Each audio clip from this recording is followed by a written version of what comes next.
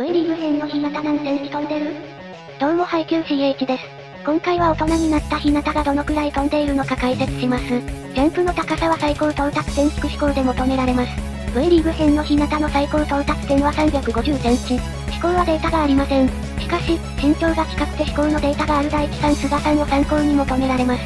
この二人は身長差が約2センチで思考差は1センチ。身長2センチ上がるにつき1センチ思考が上がるとすると、菅さんより約2センチ身長が低い V リーグ編日向の思考は推定221センチ。これでジャンプの高さを求められる条件は揃いました。最高到達点350センチ引く思考221はジャンプの高さ129センチ。ブリーグ編日向は約130センチ飛んでます。小学生膝を曲げずに飛び越えられます。最高到達点日本記録を持つ福沢達也選手ですら115センチだから、日向の行かれ具合がわかります。以上で終わります。チャンネル登録よかったらお願いします。